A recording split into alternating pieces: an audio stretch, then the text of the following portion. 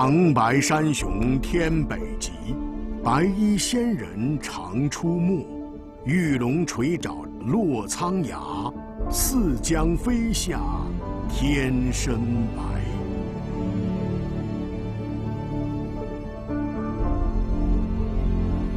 万山寂寂，一水汤汤。一座火山的炽热熔岩，塑造了安图先民心中的圣地。一汪冰清玉洁的天池，泽润了这方厚土的万物生机。长白山，一个多世纪前首次接纳了国人全面踏查的脚步，也分享了他们登顶临池的喜悦。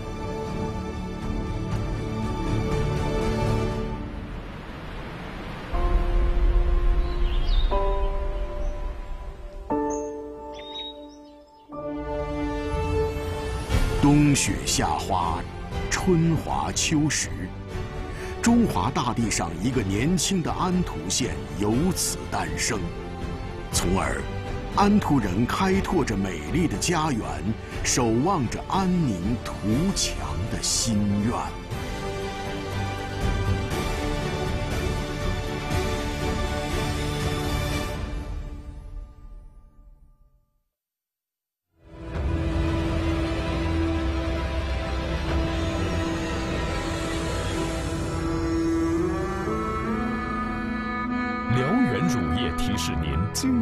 继续。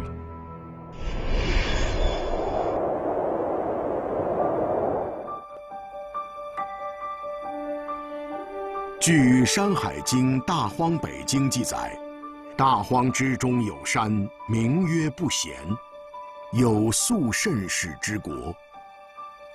这部先秦古书中所说的不贤山，就是今天的长白山。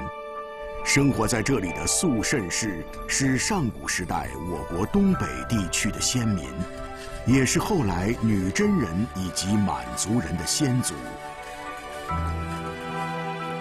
这座云雾缭绕、仿若仙境的高山，被这些少数民族视为发祥地，并奉为神山。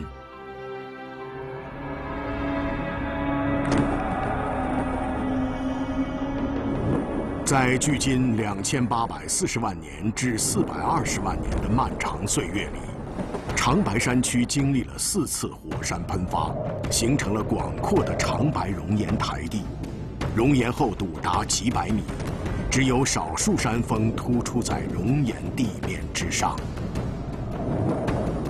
而距今八万年前的一次猛烈的火山喷发，形成了接近今日的长白山地貌。并导致火山锥顶崩裂塌陷，形成漏斗状火山口。这就是今天的长白山天池。天池平均水深二百零四米，最深达三百七十三米。环池分布着著名的十六座山峰，均在海拔两千五百米以上。群峰中的天池宛如一块碧玉，它是中国最大的火山湖，也是我国最深的湖泊。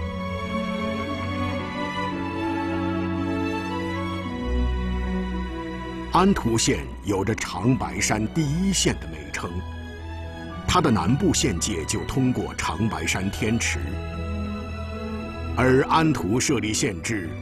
则源于一百多年前清政府的一次勘界行动。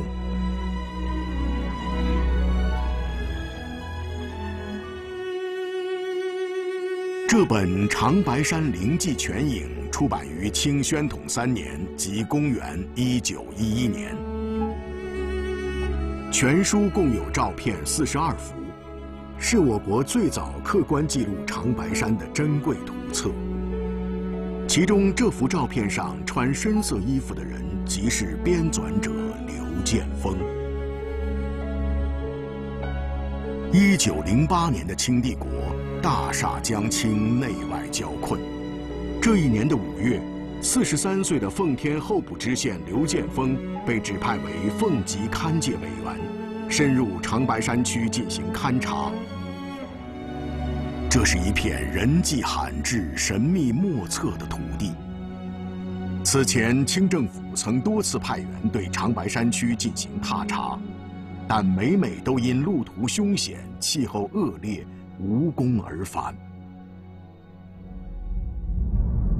一九零八年六月二十六日，刘建峰和他的勘察团队向长白山深处走去，在这支队伍里。有五名携带了当时先进的勘察设备的测绘员，这是中国历史上科学踏查长白山的第一步。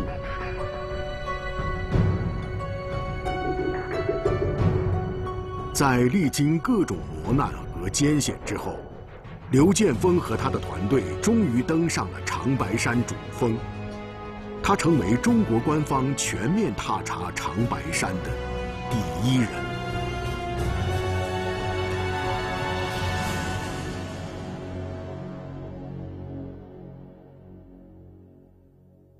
七月二十六日，刘建峰一行第一次来到了天池边，笼罩千年的神秘面纱终于被刘建峰揭开，也让科学之光。第一次投射到了白山圣水的秘境之中。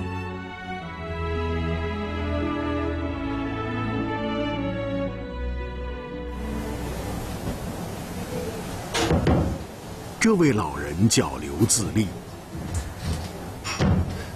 他的曾祖父就是刘建峰，他手中拿着的是曾祖父使用过的一枚印章。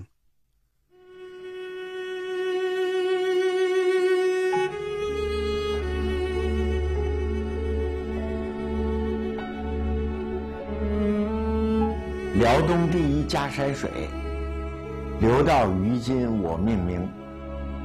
这句诗出自一百多年前他曾祖父创作的《长白山江冈志略》。在这本书中，刘建峰为自己署名为“天池钓叟”。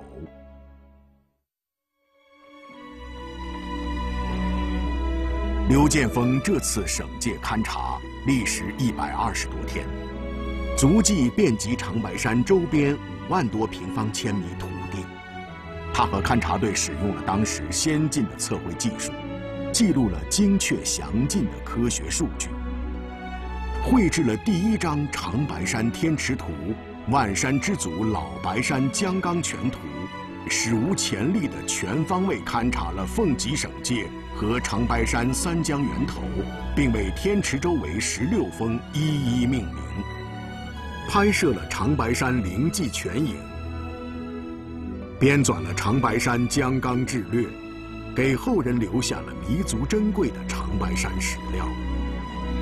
一九一零年一月，清政府根据刘建峰等人的勘定，设立安图县，寄望安定图门疆界，保国安民。因为安练边情，勤奋耐苦。刘建峰被清政府委任为新设立的安图县的首任知县。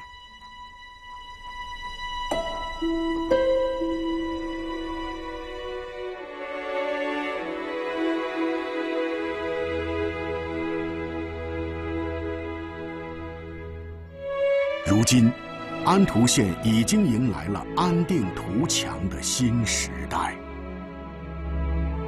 这位安图县第一任父母官依然守护在长白山脚下，遥望着长白山云卷云舒，四季轮回，见证着世世代代的人们对长白山的敬仰与敬畏。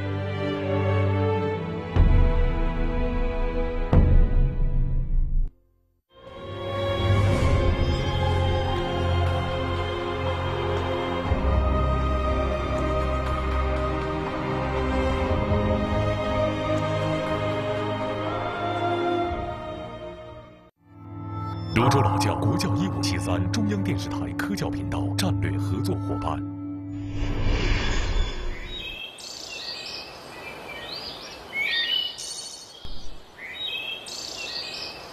这是安图县二道白河镇的一座古城遗址。天气晴好时，站在这里可以清晰地看到长白山主峰。当地人口耳相传，唐朝的一位将军曾经在此得宝马，因此叫做宝马城。然而，宝马城究竟建于何时，又因何而建，却是无人知晓。中华民国出版的《安图县志》中有这样一段记载：在县西南距城七十里，有古城一座，建修之年无可稽考，现已倾颓不堪。一九七八年，吉林省考古队进行文物普查的时候，初步断定这座古城遗址是唐渤海时期的一个驿站。二零一三年，吉林大学边疆考古研究中心的副教授赵俊杰带领考古队对此地进行了视掘。面积也不大，大概也就是九十平左右。它整个出土的这个遗物啊，包括砖瓦也好，包括建筑构件也好，包括比如说这个瓦当滴水啊，甚至于包括这个储石的这个这个形制啊，都符合金代的特征。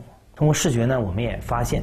这个宝马城的建筑质的规格是相当高的，呃，我们开始怀疑它可能是一个啊更高等级一个建筑组群的这么一个构造。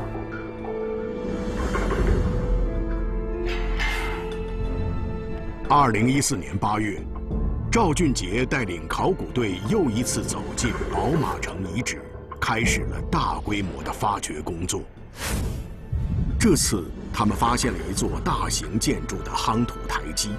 而它仅仅是三座回廊环绕的基址中最北边的一座，在铺着地砖的地面上，考古人员发现了多处涂着蓝彩的梁方木材残迹，而且倒塌外墙的白灰上也有明显的红彩痕迹。他们由此判断，台基上的主体建筑是一座面阔、进深各三间，外墙涂着红色。内梁是以蓝色彩画的木构建筑，它是整个是一个工字殿主体建筑。那么我们一四年呢是发掘了工字殿的后殿，也就是我们认为寝殿。那么一五年的发掘呢是啊揭露了宫殿的前殿，也就是正殿。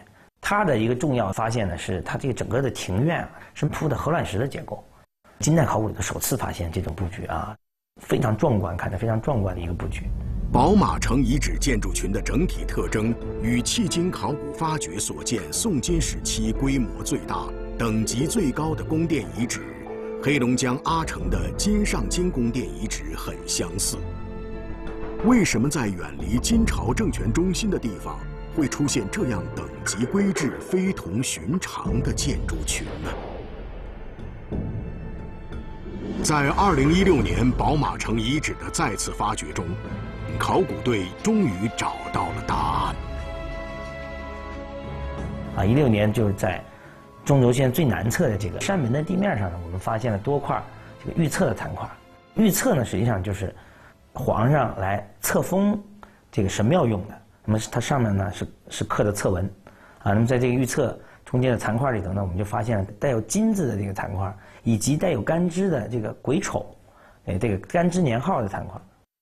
这个癸丑纪年对应的年份是公元一一九三年，但事情还得从金王朝的第五任皇帝金世宗完颜雍说起。完颜雍自继位后，励精图治，金国出现了繁荣兴盛的局面。完颜雍认为，这得益于长白神山的庇佑，因此他效仿中原皇帝封禅泰山的做法。于一一七二年，将长白山册封为兴国灵应王。册文中写道：“国将兴者，天时作之。绝为长白，在我今德，仰止其高，尽显崇仰恭敬之心。”公元一一七五年。长白山北建成了专供皇家祭祀的兴国灵应王神庙，这就是宝马古城的真身。到了公元一一九三年时，完颜雍的继任者金章宗完颜景又封长白山为开天弘圣地，以求国运昌隆。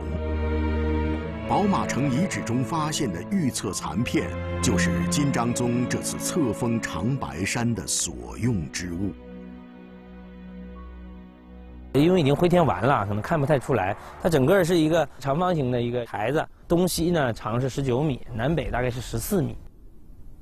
站在这个山门啊，南望长白山的话，那么这种这个仪式感，我觉得自然就油然而生了。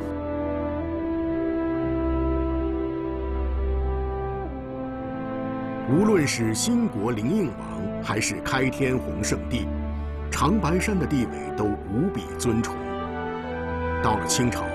长白山的地位达到了前所未有的高度，它被朝廷奉为龙脉，封禁长达二百零三年。几千年来，这里的人们对长白神山的信奉与崇拜从未中断，人们借此希冀和期盼着安定图强，国富民安。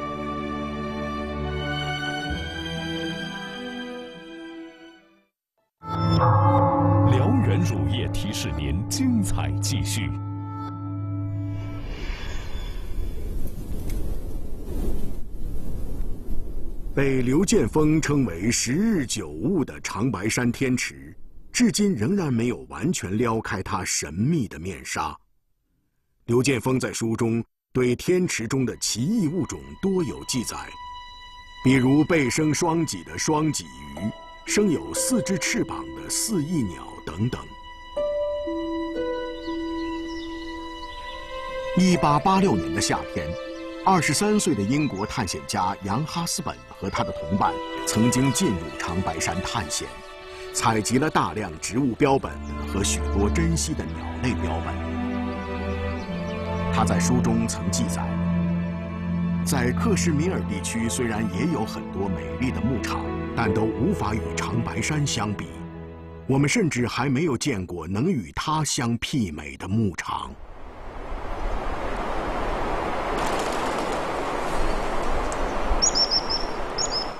眼前这种名叫中华秋沙鸭的水鸟，已在地球上存活了一千多万年，是第三纪冰川期的幸存者，鸟类中当之无愧的活化石，属国家一级重点保护动物，是比扬子鳄还要稀少的国际濒危动物。每年春季，中华秋沙鸭都会飞越数千千米。来到长白山天池边繁衍嬉戏。每当这个时候，卓永生也就开始了自己一年中最为忙碌的时光。卓永生是土生土长的安图人，作为一名自然类摄影师，家门口的长白山和天池是他永不枯竭的创作源泉。整整十六年。他用镜头关注着这里的自然变化、时光轮回。这些年呢，特别是从这五年吧来说，保护的力度加大了。原来全球不超过两千只，现在已经超过三千只。对生物了解更多的时候，你就会发现生命的神奇。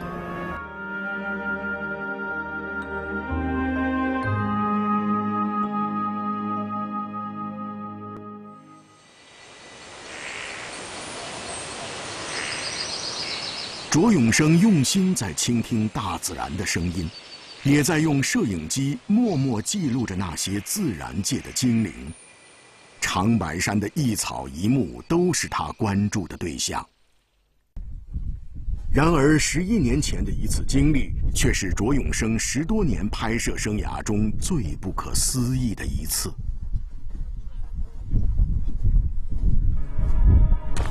二零零七年九月九日清晨五时左右，卓永生和几位摄影爱好者来到天池拍摄。此时的天池在朝霞映照之下，正显露出清晰而美丽的轮廓。五时二十六分，天池中突然出现了令人惊异的一幕。当时向导说天池里有东西，我把镜头就推上去，一看确实有六只看不清的动物，一会儿浮在水面，一会儿潜入水中，有的时候就在远处啊很远的地方又出来。这六只动物吧在水里游啊，活动范围还很大，还排列队形。一个多小时的时间里，卓永生断断续续地拍下了二十多分钟的画面。他不清楚自己拍到的究竟是什么东西，只是在内心隐隐觉得，这或许就是人们一直传说的天池怪兽。天池怪兽的传说由来已久，在刘建峰所著的《长白山江冈志略》中对此就有记述：自池中有物出水，金黄色，手大如盎。方底有角，长项多须。此后，随着来到天池边的人越来越多，对天池怪兽的发现次数和记载也越来越多。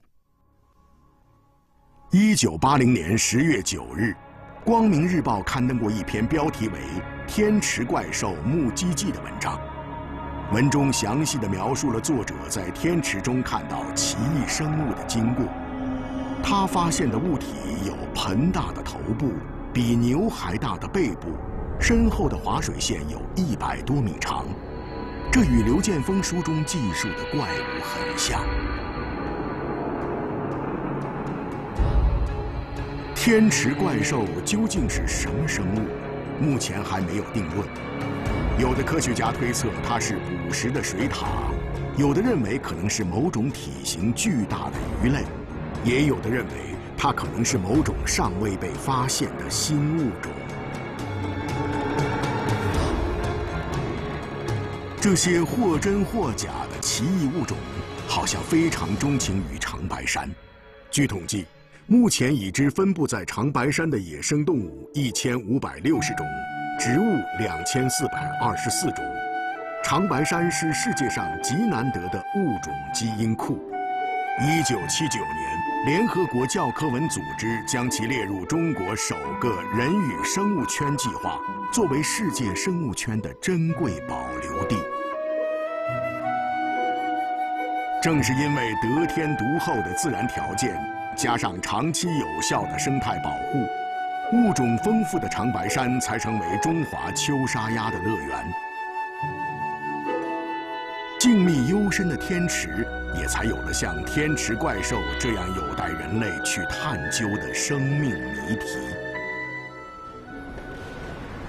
如今，在长白山自然博物馆内，参观者可以通过现代声光电技术了解到火山的喷发过程以及长白山的各种动植物资源。这些大自然赐予长白山的丰厚礼物，成为了更多人了解自然的科普桥梁。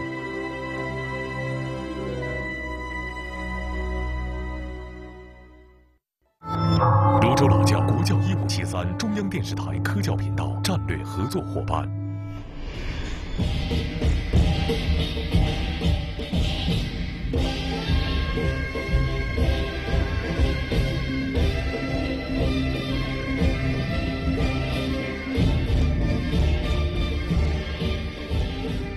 是朝鲜族最常用的乐器，但一只皮面考究的朝鲜族圆鼓，如今已是一鼓难求。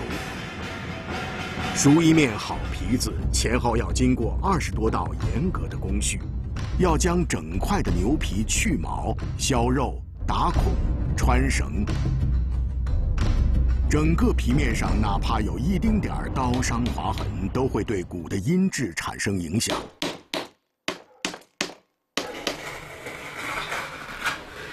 这每道工序中的一招一式，都是匠人的执着，也是岁月的积淀。安图县文化馆的退休馆长江德珠，最近要翻新自己收藏的一面远古，他找到了明月镇的张树贵。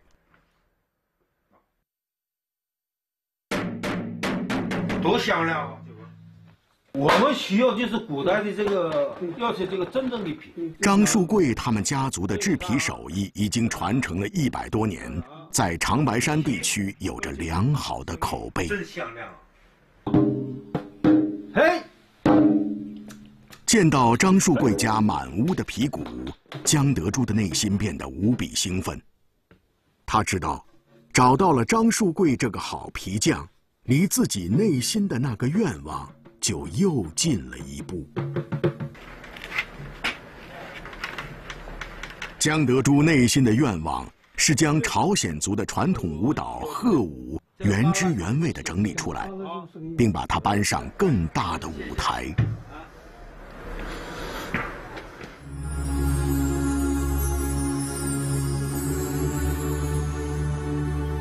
鹤是朝鲜族的图腾。因此，模仿鹤的各种姿态的鹤舞就成为他们祈求吉祥、崇敬善美的一种舞蹈，并已列入国家级非物质文化遗产名录。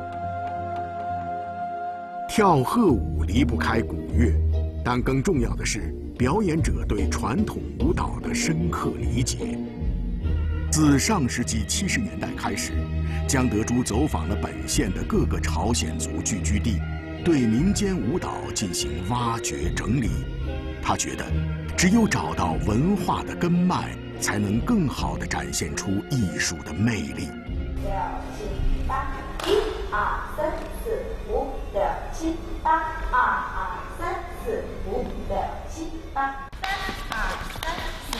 退休后的江德珠还是会经常到文化馆指导演员们的排练。他要把自己对鹤舞的全部理解传授给更多的年轻人，让他们能够将贺舞的韵味原汁原味地表演出来。二零一七年十月十四日晚，安图大型原创歌舞剧《长白山阿里郎》在民族剧院上演，好评如潮。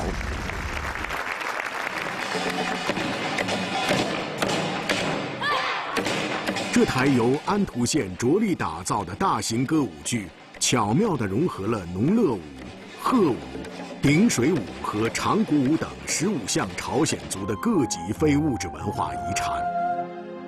该剧弘扬了善良的人性之美，生动展现了边疆少数民族浓厚的文化底蕴。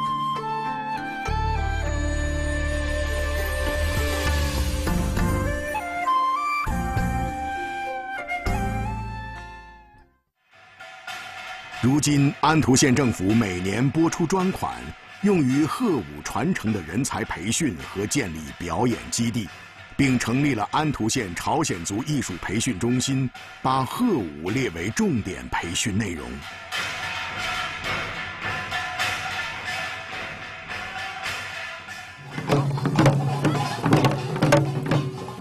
稻香滚滚，鹤舞甜头。江德珠把年轻的舞蹈演员们带到了孕育朝鲜族歌舞的稻田边进行排练，圆鼓敲出了安图人内心的从容安定、欢乐祥和。他们在安图这片土地上生生不息，传承着悠久的文化，也创造出属于他们的幸福生活。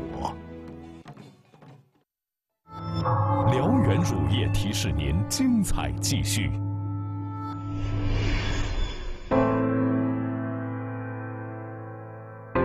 神山圣水脚下的安图，仿若一处世外桃源。建县一百多年来，这个最初的边陲小城，已发展成为一座山水宜居城市。长白山则是安图人共同的文化载体和精神寄托。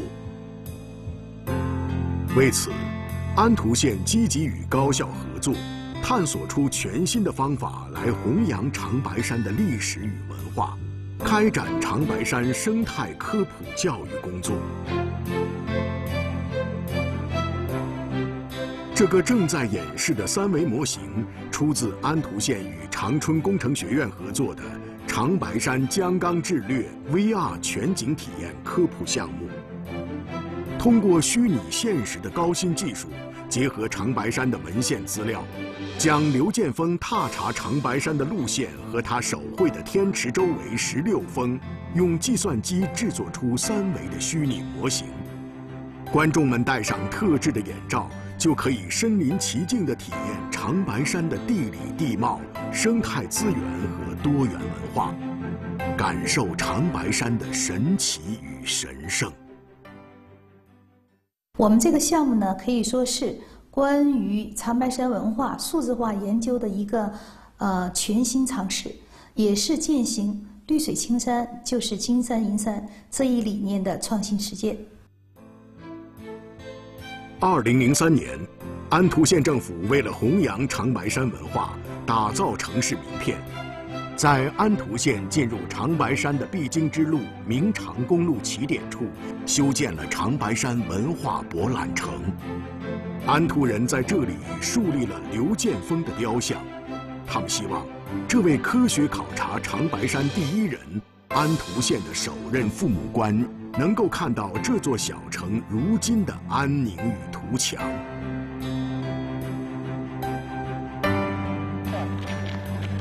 二零一五年冬，在刘建峰一百五十周年诞辰之际，刘建峰的后人刘自立受吉林省长白山文化研究会的邀请，再次来到曾祖父的雕像前祭拜。作为安图人呢，我们不能忘了感谢一个人，这个人呢就是刘建峰，是我们安图设置的第一任设置委员。退休中学老师王传江多年来一直保持着在这里义务讲解的习惯。在这座长白山文化博览城兴建之初，他就参与了设计工作。十多年过去了，他更加痴迷于对安图历史变迁与风土民情的了解。到秦王朝前呢，达到了什么东宫造极呀？在长白山文化博览城的入口处。最引人注目的是这条长三十二米的青铜甬道，上面以时间顺序铭刻着长白山自新第三纪以来的自然变迁、人文历史与民俗文化等重大事件。这是安图人在这片土地上繁衍生息的真实烙印，也是长白山自然、经济、文化发展变迁的缩影。如今。各行各业的安图人正在为青铜甬道上的这部编年体长卷继续书写着新的历史。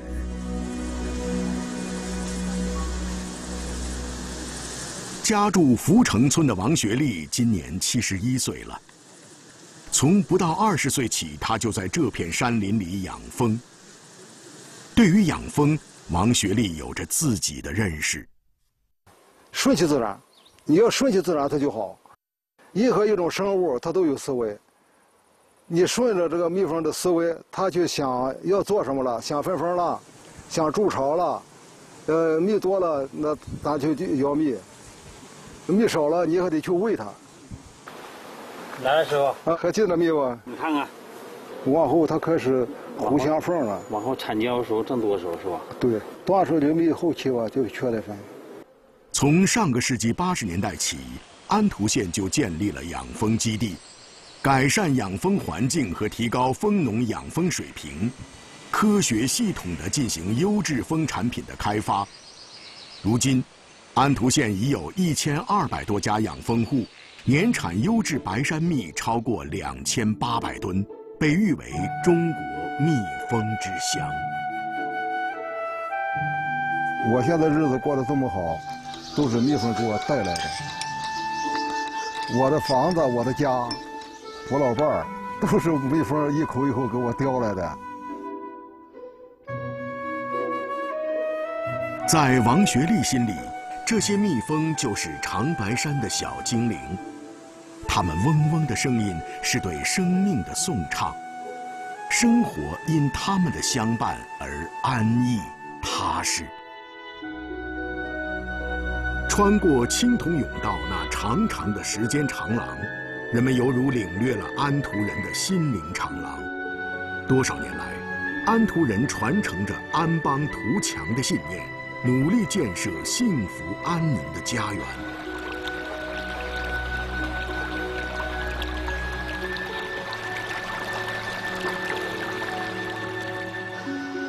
他们是长白山天然矿泉水饮用水水源保护区管理局的工作人员。对于汤健来说，保护水源环境已成为生活中不可分割的一部分。几年来，汤健和伙伴们在广袤无垠的原始茂林中踏查范围超过一百二十平方千米，以确保每个泉眼不受任何污染和破坏。在他和伙伴们的努力下，长白山天然矿泉水产业园区已发现一百零六处矿泉水泉眼，并且成为我国矿泉水行业中唯一的全国知名品牌创建示范区，吸引了多家国内外知名企业落户安图。一九零八年，刘建峰将第一缕科学之光带入长白山。如今，科学之光在安图愈加昌明。二零零六年，长白山保护开发区管理委员会成立了长白山科学研究院，主要负责调查研究长白山的生态资源、自然环境、地质地貌和水文气象等变化规律。他们的科研成果对安图的绿色发展战略提供了有力支撑。安图县作为我国东北地区的生态屏障，森林覆盖率达到百分之八十五点一，为发展林下经济提供了得天独厚的优越环境。中药材、食用菌和蜂蜜等林下产业迅速壮大，全县生产总值达到近百亿元。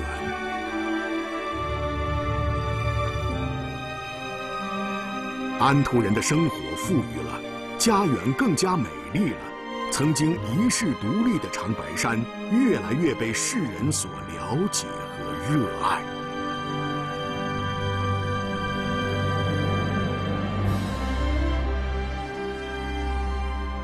白山如故，天池依然。长白山文化博览城青铜甬道上记载的，是一代代安图人对家园的守望。今天的安图人坚守着与这片土地的默契，续写着安图新时代的辉煌。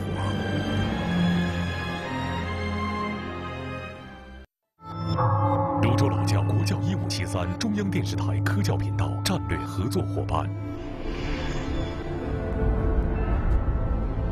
一座皇家神庙仰望着长白山，祈福昌盛。一座安图县城拥抱着长白山，尽现风采。天池水，白山蜜，调制出安图人生活的甜美。森林下，万物兴，造就了安图县国家级生态示范区的美名。